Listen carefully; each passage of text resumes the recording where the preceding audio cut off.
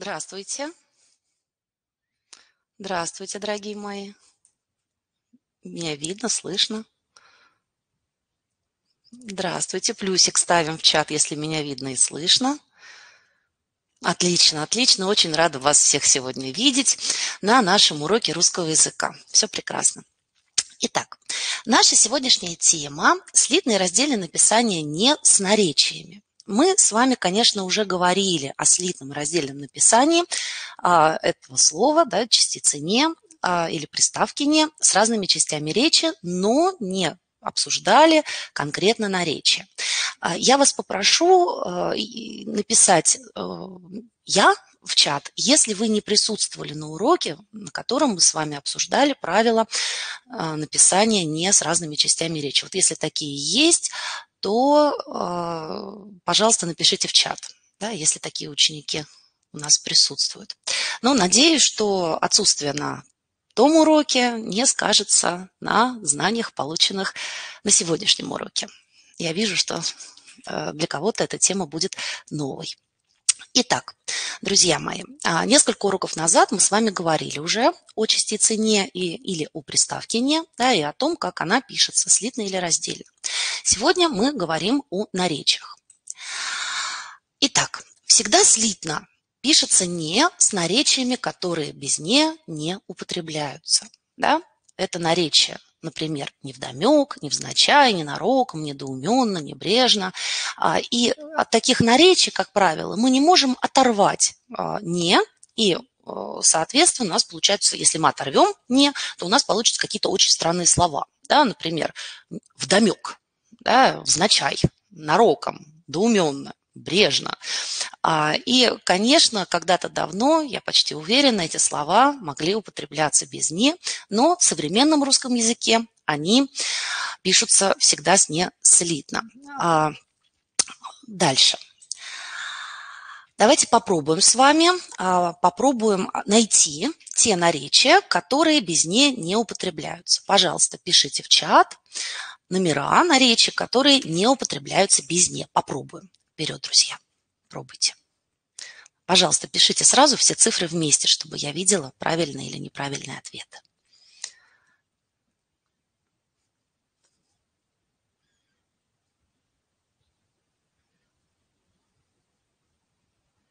Угу, угу.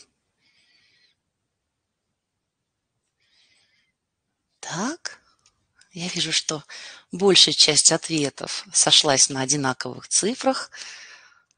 Так, но жду последние ответы, и мы проверяем. Так. Проверяем, друзья. Задание очень простое, очень легкое. Итак, правильный ответ действительно 1, 3 и 5. У нас нет в современном русском языке слова «уклюже», нет слова «лепо», хотя когда-то оно существовало, да, и было существительное «лепота». Лепота-то какая, вспоминаем сразу фильм, да, Иван Васильевич меняет профессию.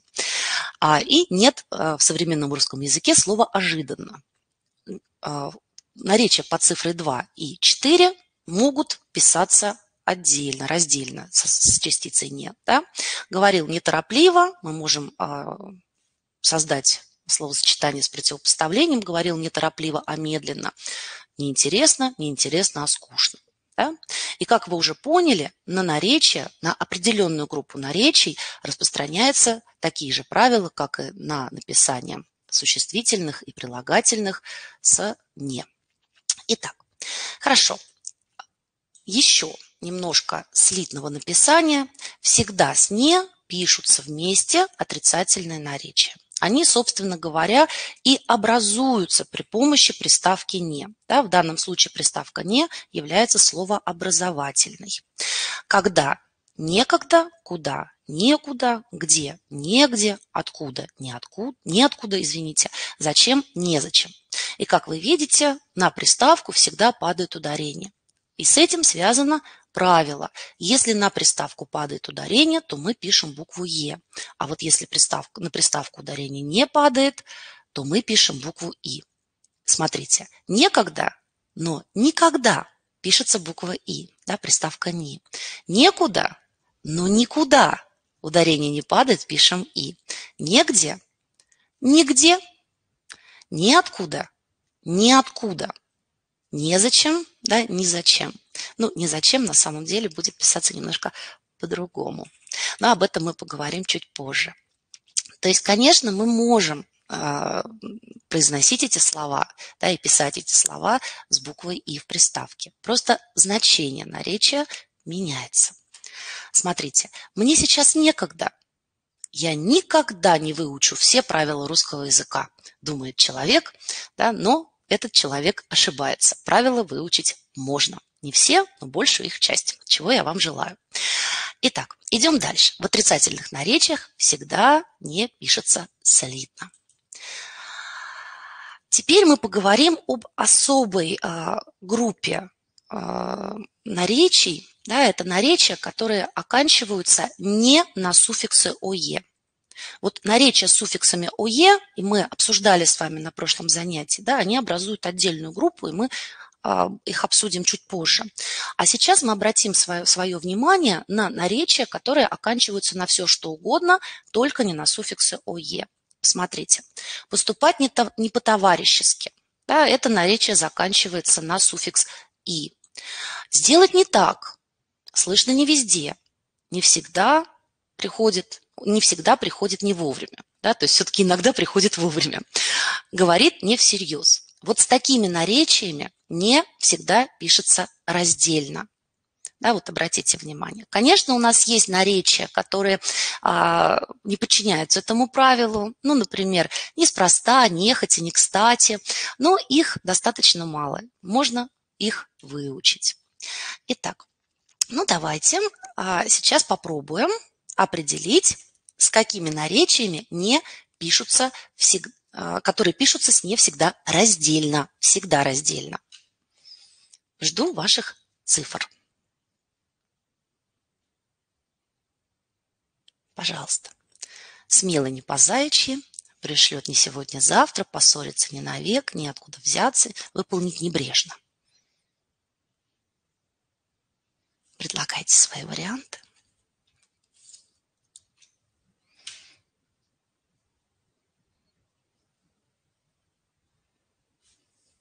Так. Внимательно, внимательно. Помните, да? Всегда раздельно пишутся наречия не на ОЕ, а всегда слитно наречия, которые без ней не употребляются, и отрицательные наречия. Может быть, кто-то захочет исправить свой ответ. Так. Угу.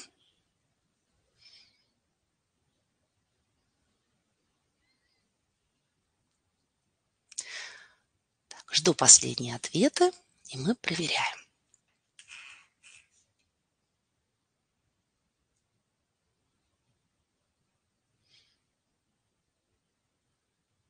Угу. Ну, давайте проверять. Я не думаю, что это очень сложное задание. Я вижу, что многие с ним справились блестяще. Итак, проверяем, друзья мои. Сейчас жду последний ответ.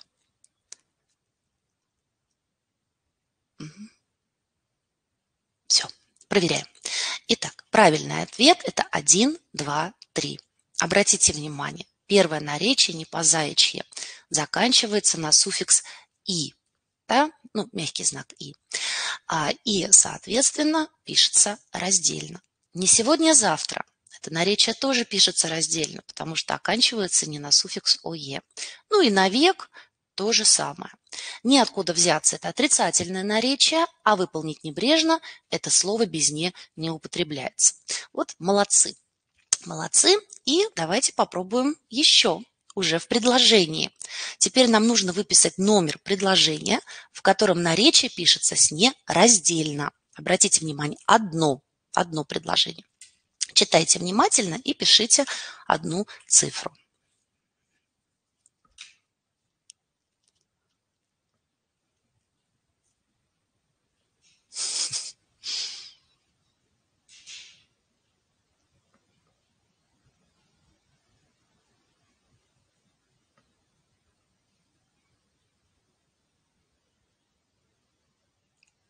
Так, я вижу, что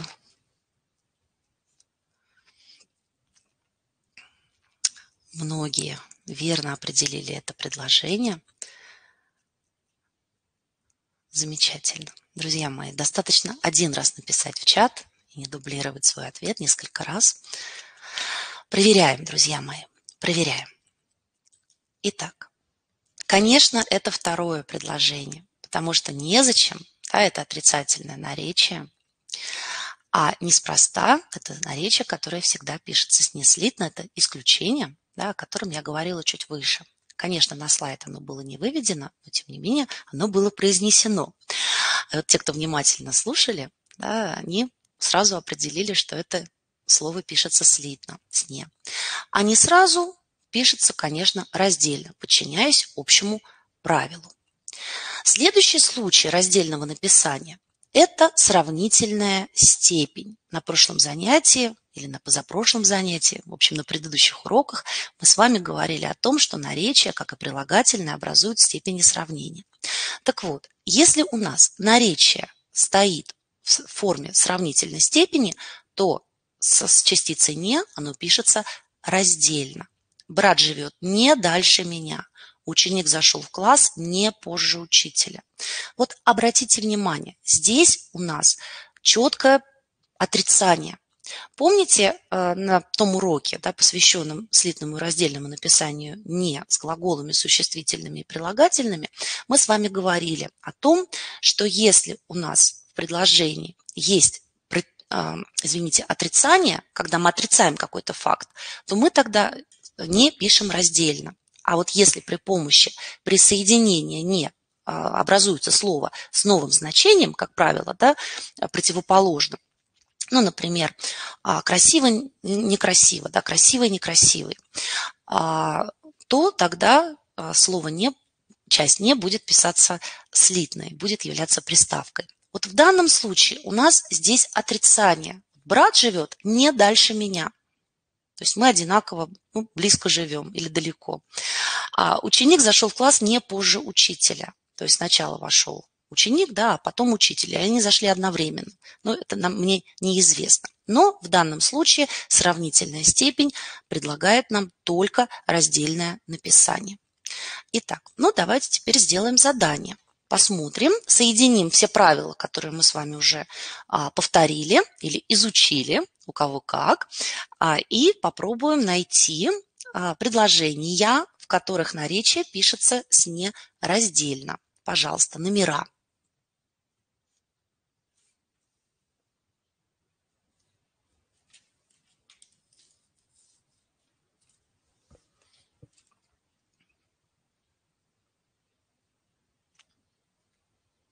Номера, друзья, номера.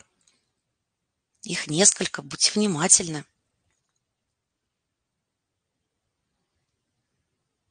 Если кто-то хочет исправить свой ответ, исправляйте.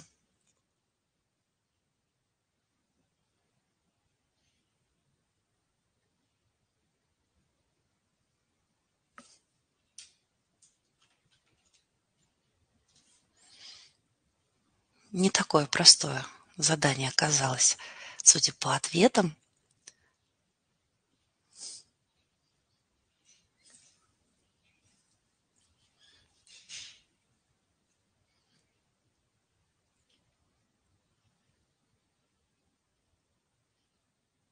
Так, ну, жду последние ответы, и мы будем проверять.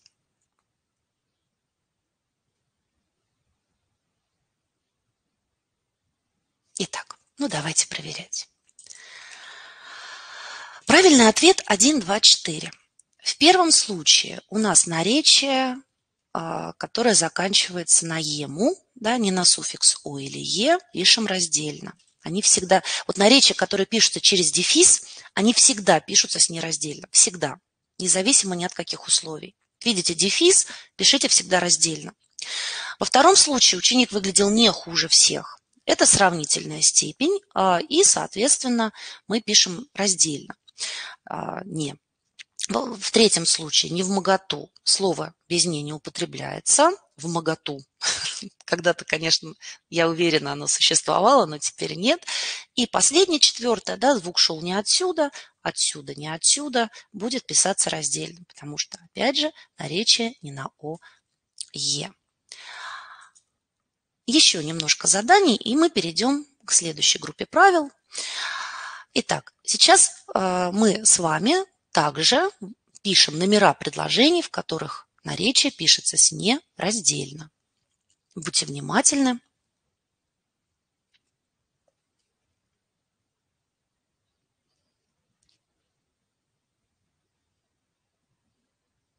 Номера, номера.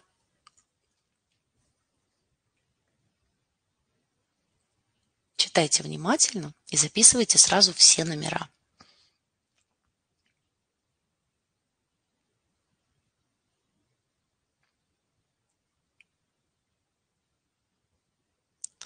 И вижу, что тоже задание оказалось не самым простым для вас.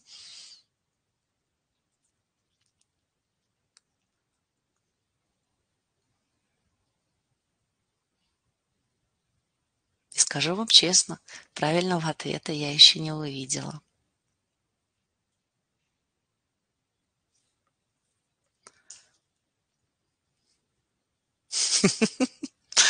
Да, была подсказка. И вот многие уже поняли эту подсказку. И я сразу увидела правильные ответы. Наверное, вас испугало, что правильными ответами могут быть все предложения. Итак, давайте посмотрим. Ой, извините, ребята, я в ответы не внесла все, ну, как всегда, да, я не могу обойтись без какой-нибудь опечатки. Но зато ответы все правильные. Итак, правильный ответ 1, 2 и 3. Посмотрите, пожалуйста, не по-ночному. Во-первых, это наречие, которое пишется через дефис. Я только что говорила о том, что они пишутся всегда раздельно. Во-вторых, это наречие с суффиксом «ому», а не суффиксом «о» или «е». Ну а в-третьих, друзья мои, здесь даже есть противопоставление не по ночному, а по вечернему. Да, и вот при, все, при совокупности всех этих факторов действительно не нужно написать раздельно. Но первый фактор, конечно, не на, это наречие не на ОЕ и а, пишется через дефис. А, противопоставление, оно вторично. Во втором случае не очень пишется раздельно, да, а, потому что, опять же, наречие не на ОЕ, ну и вообще запомните, пожалуйста, я иногда вижу не очень написанное слитно, да, это такая частая ошибка, будьте внимательны, пишите раздельно. Ну и последнее, не вправе, тоже наречие не на ОЕ. Вы сейчас можете сказать, ну как же, я в конце вижу букву Е. Друзья мои, это другая группа наречий. И об этом мы сейчас с вами поговорим. Да? Один, два, три, правильный ответ. Не верьте ответу 2, который написан наверху. Я его просто не заменила. Так вот, друзья мои, мы переходим к той самой загадочной и одновременно такой знакомой нас, а, такой, такой знакомой нам группе наречий с суффиксами «о» и «е». Во-первых, эта группа наречий всегда образуется от прилагательных. Об этом мы говорили точно на прошлом занятии. Да, посмотрите, отчаянный, отчаянно, искренний, искренне. А, и эта группа наречий всегда образована суффиксальным способом. То есть, когда мы видим наречие на О или Е, мы всегда можем а, понять, от какого прилагательного они образованы. И вот наречие в праве, да, оно образовано другим способом, от существительного, от сочетания существительного с предлогом в праве. Ну и, соответственно, там они приставочно-суффиксальным способом соединились. Так вот, друзья мои, а, на наречие с суффиксами «о» и «е» распространяются те же самые правила, что и на существительные и прилагательные.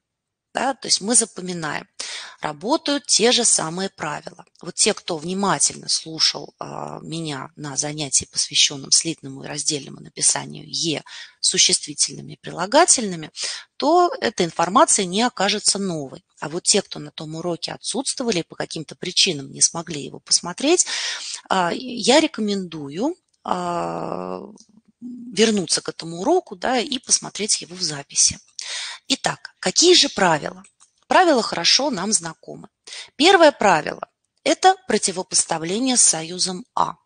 Когда у нас есть противопоставление по какому-то признаку, то всегда будет писаться не раздельно. Он ответил не грубо, а вежливо. Ехать нам недалеко, а близко. Обратите внимание, в первом случае, вот здесь, мы отрицаем факт грубости да, или факт далекого расстояния. И после союза А мы утверждаем другой факт. Да, вот когда у нас есть отрицание, мы всегда пишем не раздельно.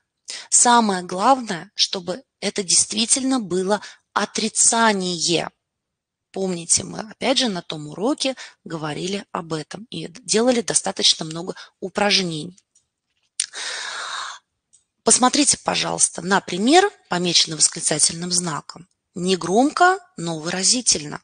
Здесь у нас есть тоже а, отношения, которые вводятся союзом «но», да, и мы можем принять это за противопоставление. Но здесь у нас нет против, явно выраженного противопоставления. Негромко мы можем заменить словом «тихо», то есть синонимом «без не». И, соответственно, мы утверждаем, что человек говорил тихо, но при этом выразительно. И таким образом да, мы не можем здесь сказать э, о том, что э, слова противопоставлены друг другу по значению. Факт и факт. Второй случай а, – это наши любимые слова-сигналы «далеко не», «отнюдь не», «вовсе не». Да, и мы тоже вспоминали о слове «отнюдь». Да, вы, хотите, а, вы хотите возразить мне «отнюдь» – красивый ответ. Так вот, слова сигнала далеко не, отнюдь не, вовсе не дают нам всегда раздельное написание. Хозяйка взглянула на приезжих вовсе неприветливо. Ваши вещи сложены далеко не беспорядочно.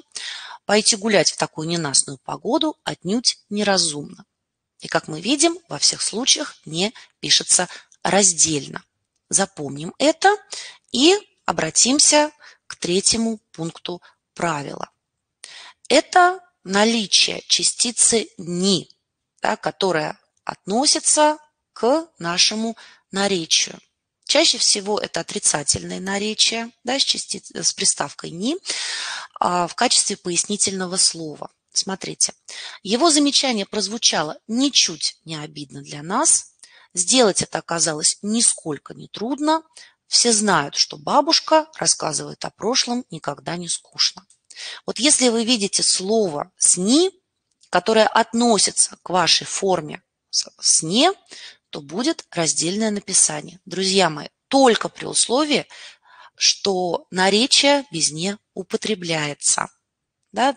Потому что если наречие без «не» не употребляется, оно всегда-всегда пишется слитно, равно как и существительное, равно как и прилагательное. Соответственно, а, иногда вот в слова сигналы относят еще ничуть не, я знаю, есть такие случаи. Друзья мои, я их вношу в эту группу, потому что а, странно было бы выносить отдельно ничуть не, да, когда у нас есть целый пункт правила. Итак, и я хочу вам показать одну ловушку, в которую вы можете попасться. У нас слова-сигналы только те, которые были указаны на слайде. Да, это вовсе не, далеко не, отнюдь не. А иногда вызывают трудности наречия меры и степени, то есть те наречия, которые отвечают на вопросы «как в какой степени». Давайте посмотрим на примеры. Совершенно немного осталось идти. Вот слово «совершенно» кто-то ошибочно может принять за какой-то слово сигнал. Но давайте мы посмотрим, какую же роль играет это наречие в предложении. Совершенно немного осталось идти. Немного как, в какой степени? Совершенно.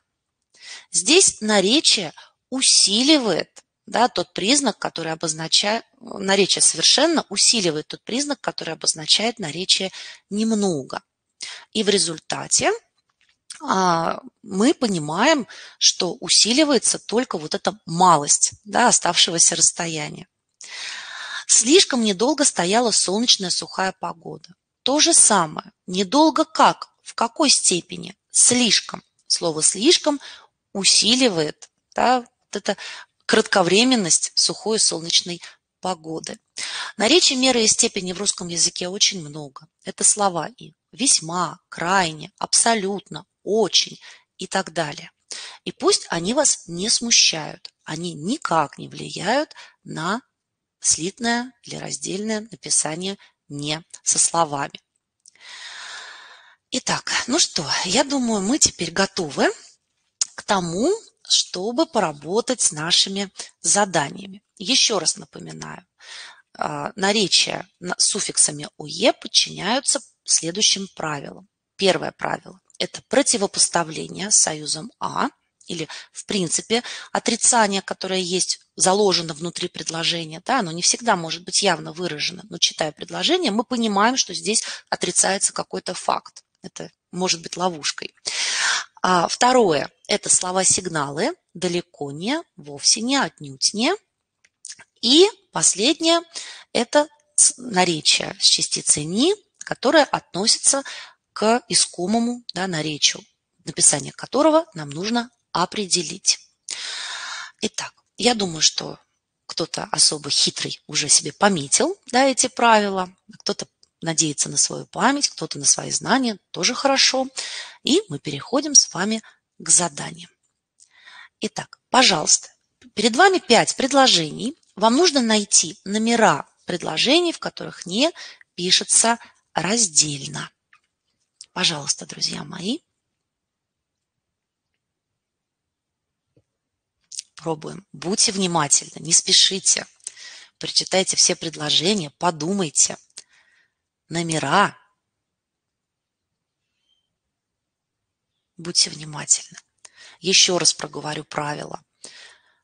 Отрицание какого-то факта, признака, да, характеристики, ну, признак, признак скорее для наречия, а характеристика для прилагательного, да, факт это скорее для существительного или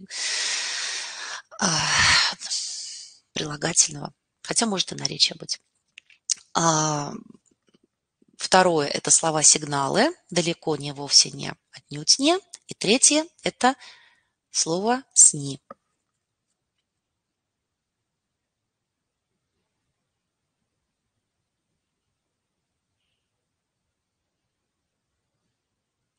Так, ну что, судя по всему, иссякли ответы. Да, все, кто хотел, написал. И проверяем, друзья. А, еще есть ответ. Хорошо, я подожду, дам еще минутку, чтобы все смогли поделиться своими соображениями.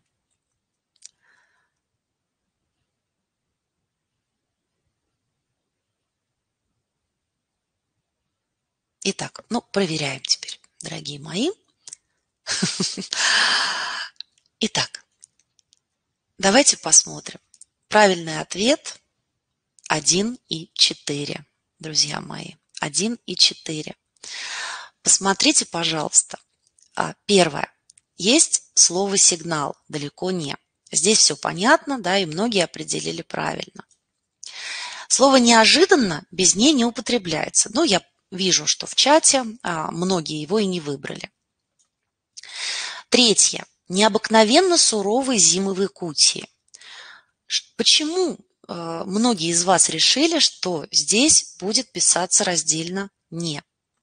Посмотрите, необыкновенно – это наречие на «о», образованное от прилагательного «необыкновенный». Здесь нет отрицания, здесь нет слова сигнала, Здесь нет слова с частицей «ни». И, естественно, оно пишется слитно. В четвертом есть противопоставление. Улыбался не лукаво, а простодушно. Да, и многие выделили это как правильный ответ. И в последнем, в пятом, друзья мои, весьма – это наречие меры и степени. Нередко как весьма. Весьма – это не слово сигнал. Это та ловушка, да, о которой я вам говорила чуть-чуть выше. Вот будьте, пожалуйста, внимательны. Если вы, не, вы можете поставить к наречию вопрос, как, в какой степени или в какой мере, то перед вами наречие меры и степени, друзья мои, которая на раздельное написание не влияет. Хорошо нужно запомнить слова сигналы. Вовсе не, далеко не, отнюдь не. Вот они действительно работают на раздельное написание. Но попробуем еще раз. Пожалуйста. Номера словосочетаний. Перед вами уже не предложение, да, а словосочетание. Попробуйте еще раз. Учтите те ошибки, которые вы допустили в первый раз.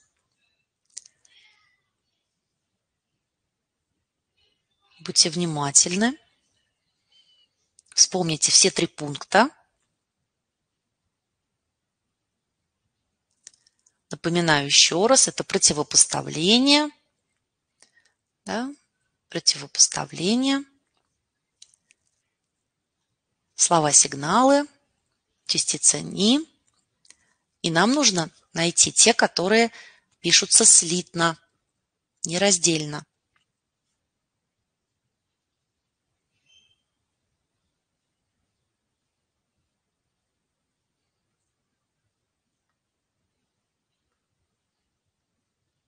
Я вижу, как азартно вы включились в работу. Спасибо вам за это. Это очень здорово, что вам интересно то, чем мы занимаемся.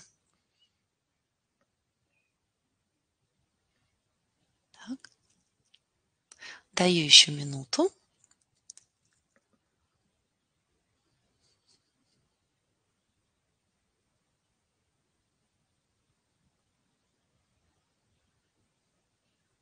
Я вижу правильные ответы. Их немного, но они есть.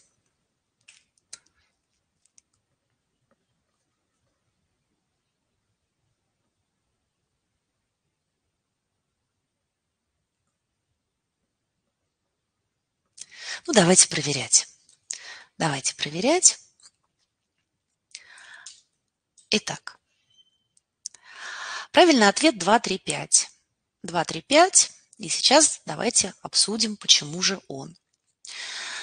Разговаривать не громко, а тихо. Да, здесь у нас противопоставление. И, а, естественно, будет писаться раздельно. В задании нам нужно было написать а, те словосочетания, в которых наречия пишутся слитно. Сделать неаккуратно. Здесь нет условий для раздельного написания, нет противопоставления, нет слов сигналов и нет а, слова «сни». В-третьем, да, то же самое. Более того, а, слово невозмутимо без ней не употребляется. Да, нельзя сказать возмутимо. Можно сказать только возмутительно. А в четвертом у нас есть слово сигнал, вовсе не, да, вовсе не интересно. И последнее, здесь у нас э, не, против, не, не такое противопоставление, как должно быть, да, нет отрицания. А недешево, то есть дорого мы можем заменить э, синонимы без «не», но красиво, поэтому пишется слитно. Ну и, конечно, нужно быть внимательными в тот момент, когда читаете формулировку задания. Да, в задании было а, нужно выписать а, словосочетания, в которых не пишется слитно, а не раздельно. Ну и на этом многие, как я вижу, погорели. Итак, я надеюсь, что это а, оказалось вам понятным, да, та информация, которую мы сегодня с вами а, получили из урока.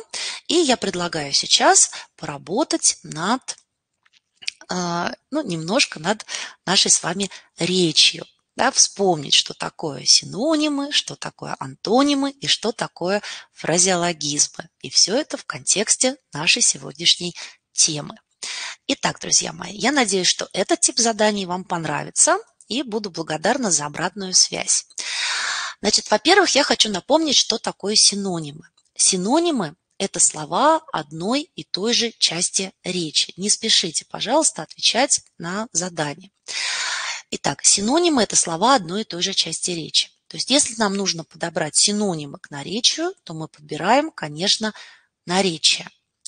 Кроме того, если мы подбираем синонимы а, с «не», то «не» будет писаться, раз, э, извините, не раздельно, а слитно.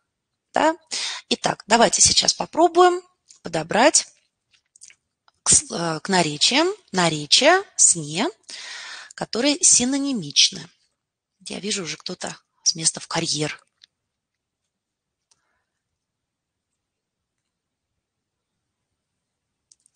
Предлагайте.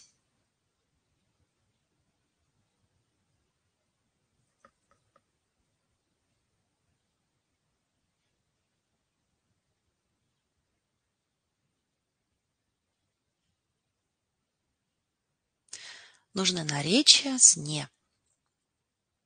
Немножко посложнее задание, да, не такое простое. Но подумайте, подумайте. Я думаю, это полезно для нас.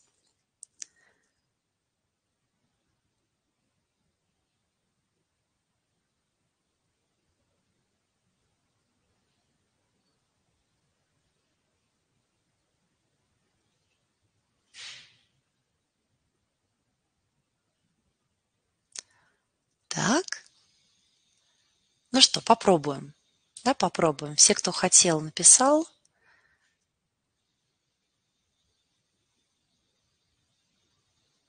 Так.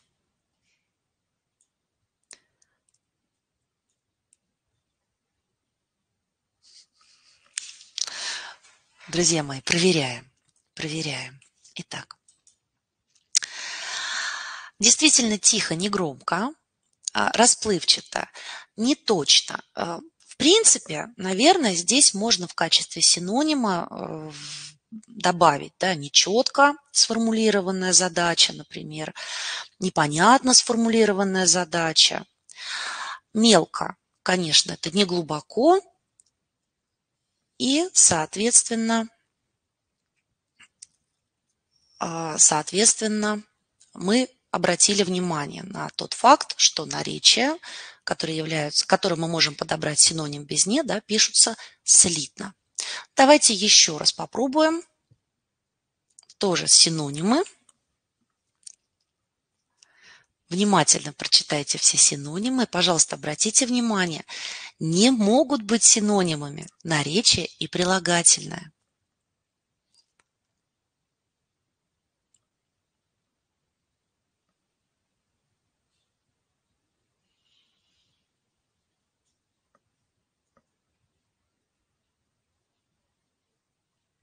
Итак, легкомысленно, случайно, обязательно. Если получится два-три антоним, ой, извините, синонима подобрать, то будет здорово.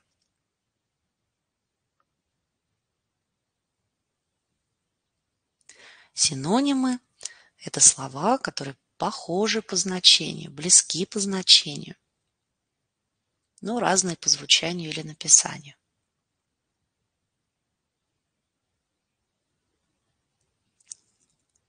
Так.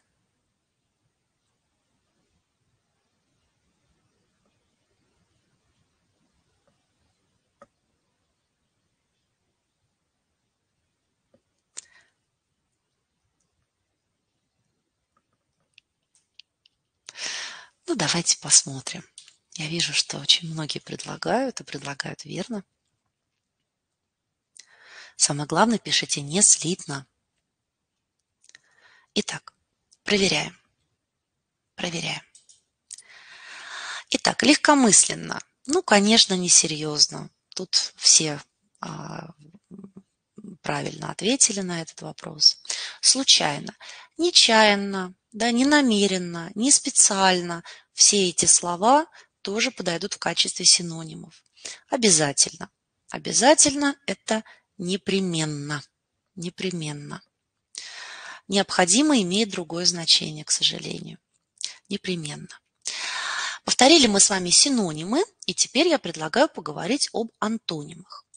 Антонимы – это слова одной части речи, всегда одной части речи, то есть два наречия, два прилагательных, два существительных, а, которые противоположны по значению.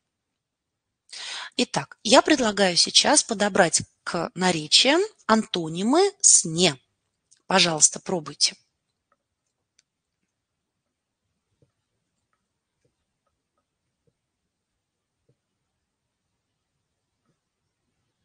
Постарайтесь все уместить в один ответ.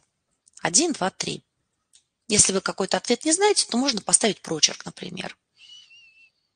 Или вообще его не указывать.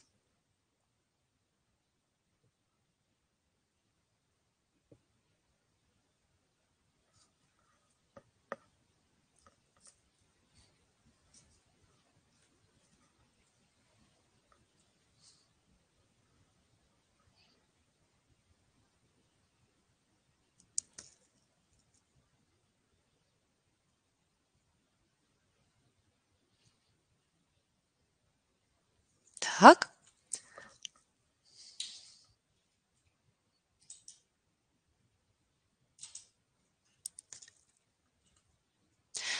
Пожалуйста, проверяем. Итак, ожидаемо. Действительно неожиданно, лежит на поверхности. Случайно, не случайно, да, не специально. Внятно, неразборчиво или невнятно невнятно многие да, обозначили, а вот неразборчиво я не увидела этого ответа. Хотя это наречие тоже подходит. Попробуем еще, друзья мои. Остановитесь в своих ответах. Вас, вам еще предстоит еще задание этого же характера. Итак, следующее наречие тоже антонимы. Сложно, низко, непостоянно.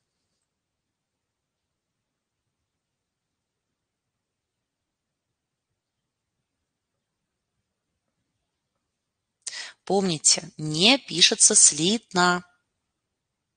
Слитно.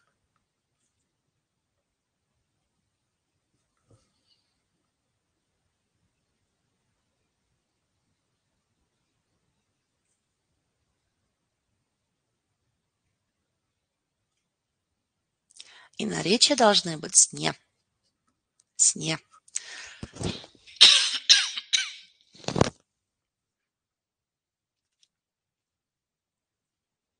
Сложнее, да?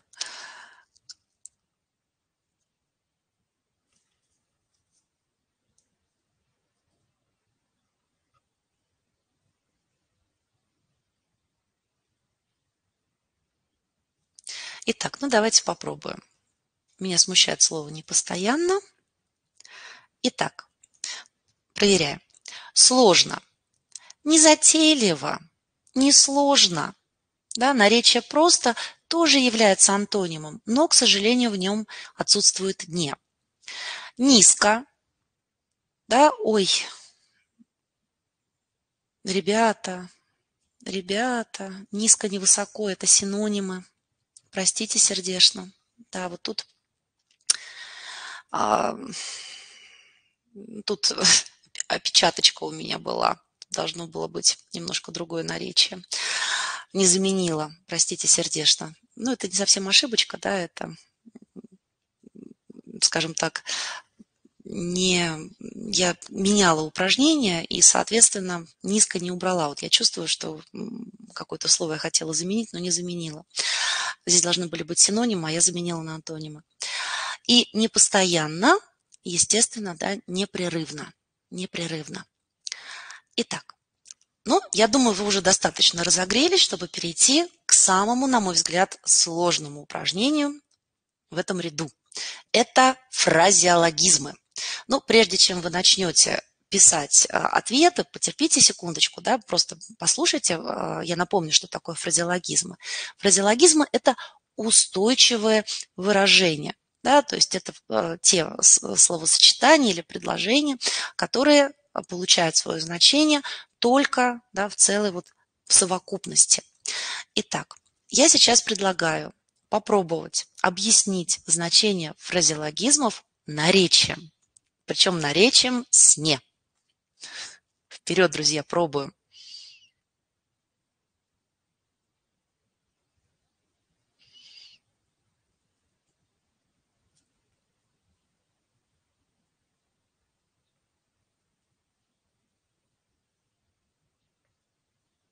Именно наречием, друзья.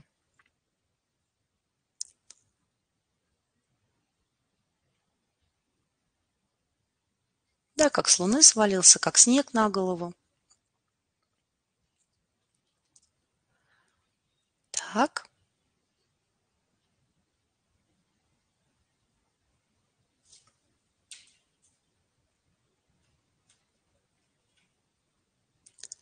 Я вижу много интересных вариантов.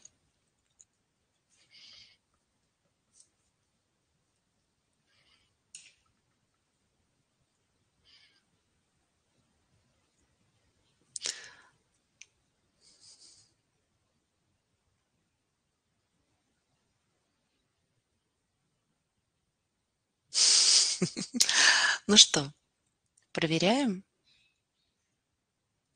Итак, ну давайте посмотрим. Да, нам нужно найти именно наречие.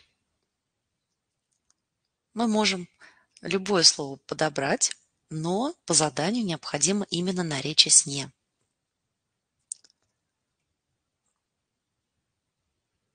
Итак, ну давайте проверим себя. Итак, как с луны свалился, неожиданно, да? Как кошка с собакой, недружно, именно недружно, они не дружелюбно, да, тот, тот вариант, который иногда возникал в нашем чате, должно быть недружно. Итак, и еще одно задание такого же рода. Нужно подобрать к фразеологизмам словосочетание с наречием «не». Да, потому что одним наречием, к сожалению, здесь не обойдешься.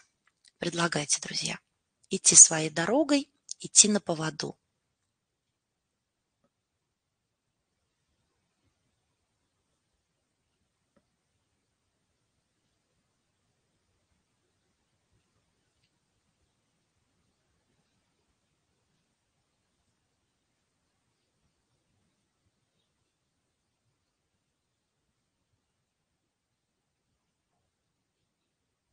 словосочетанием, друзья мои.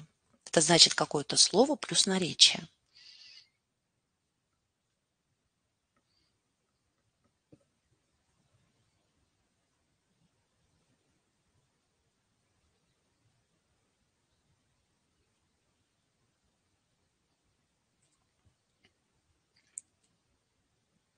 Друзья мои, я жду ваши ответы.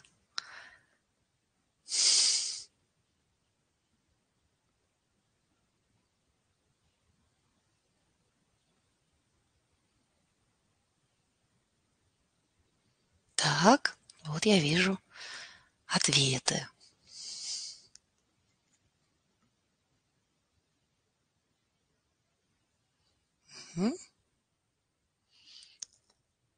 Чуть-чуть посложнее, чем предыдущая, конечно.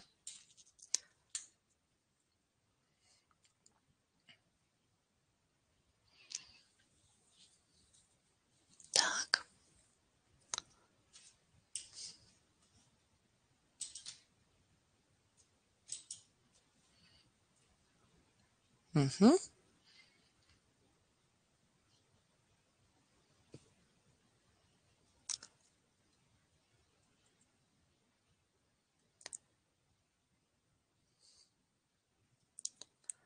Итак, ну давайте посмотрим, проверим себя. Идти своей дорогой, да, поступать независимо. Поступать независимо, потому что когда мы а, идем своей дорогой, это значит, мы ни на кого не оглядываемся и совершаем те поступки, которые считаем правильными.